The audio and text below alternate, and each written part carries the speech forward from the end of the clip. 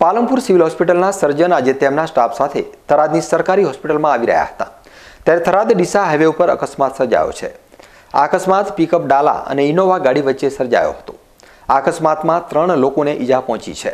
તમામ ઈજાગ્રસ્તોને સારવાર માટે સરકારી હોસ્પિટલ ખાતે ખસેડવામાં આવ્યા હતા.